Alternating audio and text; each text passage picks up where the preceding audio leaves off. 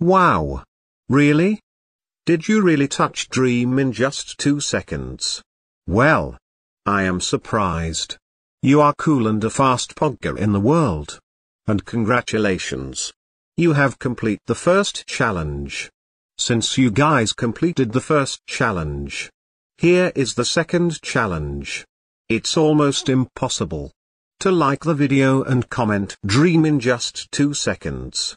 If you do, then you are a cool and fast pogger. Yeet.